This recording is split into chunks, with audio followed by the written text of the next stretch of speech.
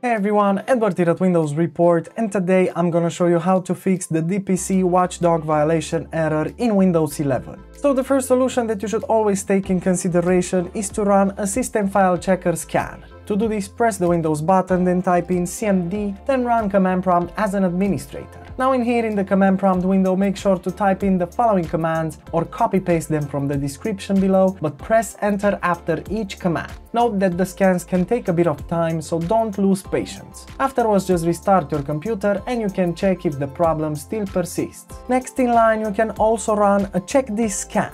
Now to do this, press the Windows button, type in cmd, then run command prompt as an administrator. In here, once again, copy paste the following command that I posted in the description below and then enter to confirm and check if the problem still persists.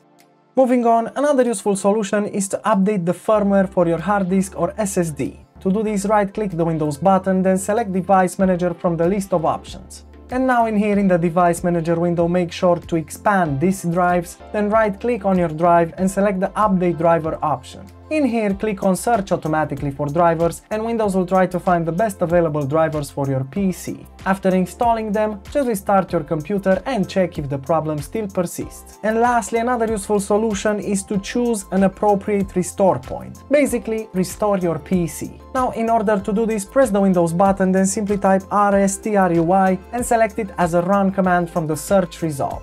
Now, in the System Restore window, make sure to click on Next, then choose the earliest point in time before the problem occurred, then click on next, and lastly, select finish to start the restoration procedure. Afterwards, you can simply check if the problem still persists. And that's it. Super simple, isn't it? Of course, if this video helped you, make sure to hit the like button and subscribe to our channel for more quality content. Thanks for watching.